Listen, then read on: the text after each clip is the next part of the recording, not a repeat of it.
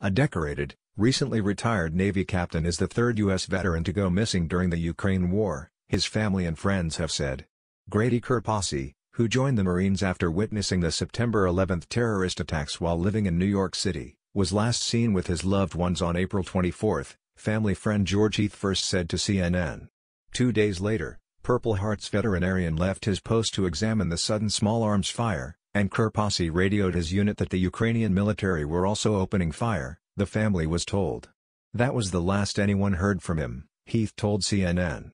State Department spokesman Ned Price confirmed on Thursday that it had been briefed on a third U.S. citizen missing in Ukraine.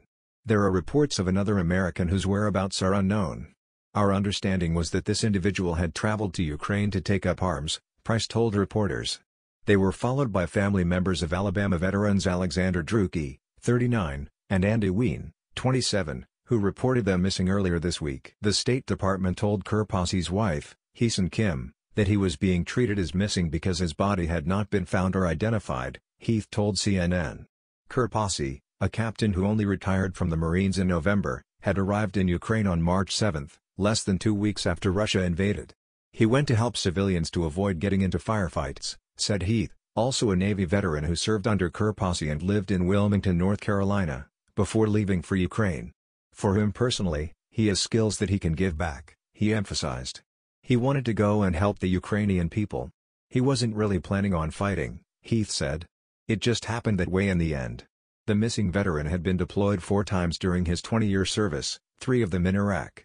He had won the Good Conduct Medal three times, the Navy and Marine Corps Achievement Medal three times, the Purple Heart Medal, the National Defense Service Medal and the Global War on Terrorism Expeditionary Medal, CNN noted. Heath is a great leader, said of the man who was his platoon leader from 2012 to 2014.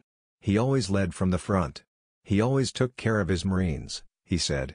The State Department on Thursday insisted reports of the men missing were yet to be confirmed and they had seen nothing to suggest they were being held by invading forces. Start your day with everything you need to know Morning Report delivers the latest news, videos, photos and more. To date, we have not raised this with the Russian Federation, Price said.